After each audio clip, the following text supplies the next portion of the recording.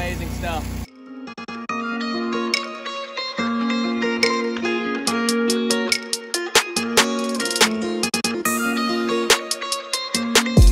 All right, what's up guys? Welcome back to Lean Mean Academy and today we're back on a graffiti job site. I actually was buzzing around and uh, found this guy and I was like, man, this thing has been here for a while.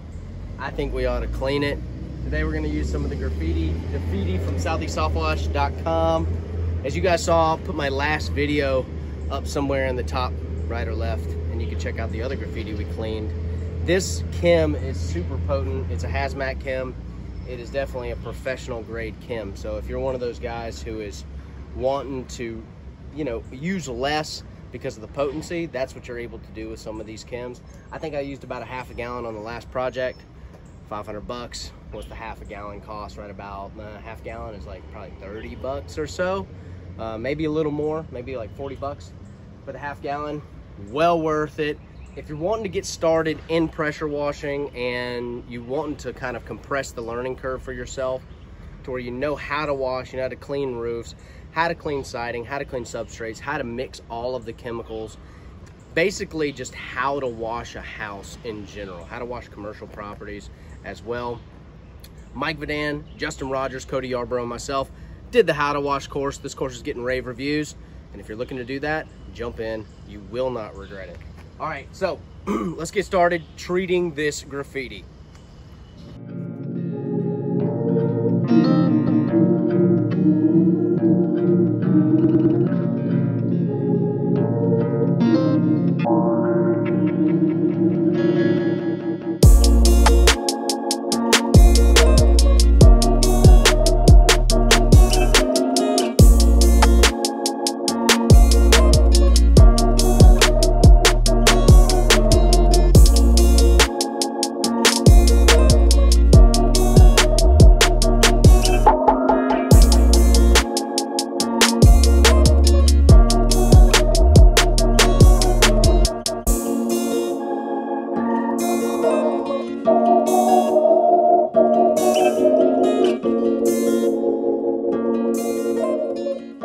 All right, so on the bottle it says allow it to dwell for five, allow to sit for five to 10 minutes, um, and then hit it with a high pressure. Uh, you can do hot, you don't have to have hot water. I don't use hot water on graffiti. Um, and if you need to keep it wet, you can reapply. I'm not gonna reapply here. I'm just gonna let it sit for about 10 minutes. Problem is, kind of impatient all the time, and sometimes I think 10 minutes is 10 minutes, and it's usually been like three minutes. So this time we're really gonna let it sit for a solid 10 minutes and hit it with a green tip. Some guys use a white tip. Doesn't really matter as long as you're using adequate pressure. The key though is to allow it to dwell long enough before you hit it with the water, right? Because then you dilute everything and you kind of have to start over if you're gonna reapply. So really let the chemical dwell, let it work, and then hit it with your pressure.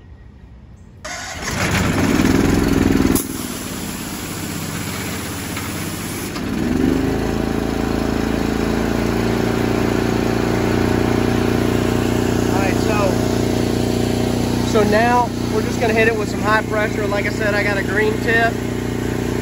Gonna take this shit off.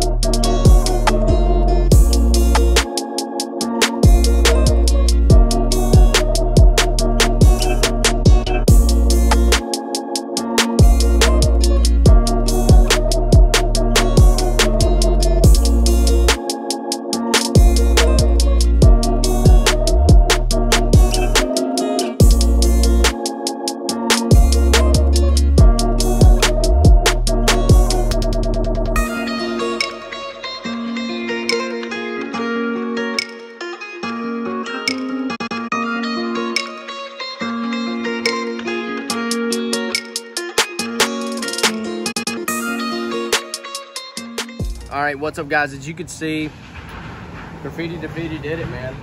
Took it all out. I could probably go back and hit some of these spots, and I will before I leave. But the whole tag is gone. Um, super stoked. I think the first Graffiti Defeatii, you guys didn't know about it. It didn't have a name, and Cody was telling me that it was super light. It didn't really do what he wanted it to do. So we went back to our chemist, told him to up the potency by a hell of a lot. And um, this is the, the result. So a pro chem that works, you can count on it, keeping it in the truck, and it can make you money. Go ahead and click the link in the description. I'll put that down there to this product. And uh, Cody, good job, dude.